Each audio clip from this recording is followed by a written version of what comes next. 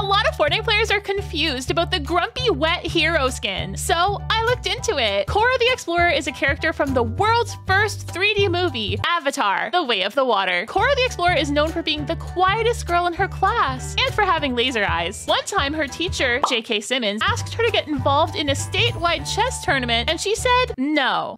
And you're bald. Katara, I mean Moana, I mean Korra the Explorer, it's her tiny pet chihuahua, who she named after her beloved father, Yappy. Just don't get on her bad side, or else she'll kiss your brother. What do you think of the skin? Don't forget to follow.